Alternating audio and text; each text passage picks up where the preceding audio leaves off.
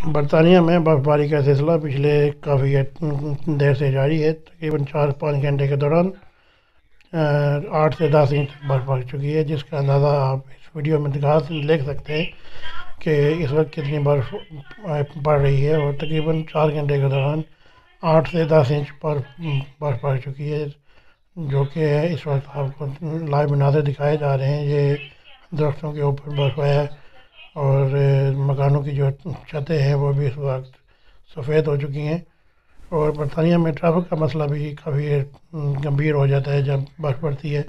लेकिन जो लोग इन्जॉय करना चाहते हैं वो फिर भी बर्फ़ के साथ इन्जॉय कर सकते हैं